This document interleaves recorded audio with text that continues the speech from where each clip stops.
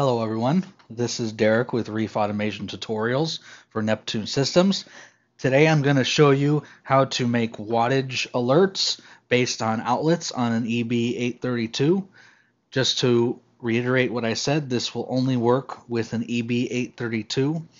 What this is meant for is to produce alerts or any type of programming that you need based on wattage on specific outlets on the EB832. So let's get started. So if you have an EB832, the easiest way to do this is through tasks. So if you go to tasks, which is the icon right there, and then you go to power usage alarm, you can make your own power usage alarms just based on the tasks right here.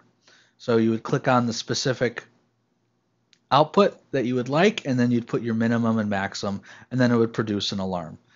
That is one way to do it. When I do alarms, I typically like to actually program them or hard code them into the email or the alarm outlet itself.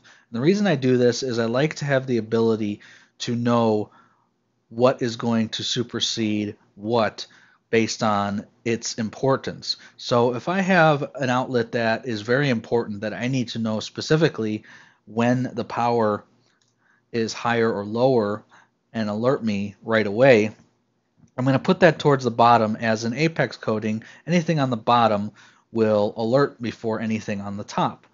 So the command for this is if output, and then you put the output. And again, you can only put outputs that are on an EB832. So for instance, I have a chiller on my EB832. If reef chiller watts is greater than let's say 100, then on.